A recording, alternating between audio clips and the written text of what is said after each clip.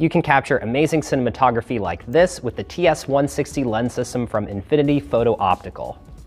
And they have prism attachments that let you keep your view low while making your camera a lot easier to handle. You can get unique angles that would be impossible to get with other lenses.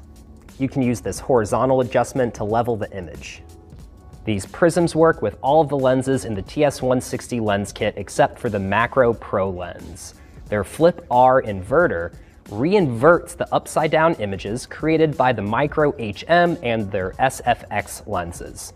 The inverter also acts as an extender tube, letting you get further away from the subject you're filming. All of these great add-ons let you tailor your system for all kinds of unique situations. More details on these attachments and the TS160 lens system overall can be found at Infinity Photo Optical's website.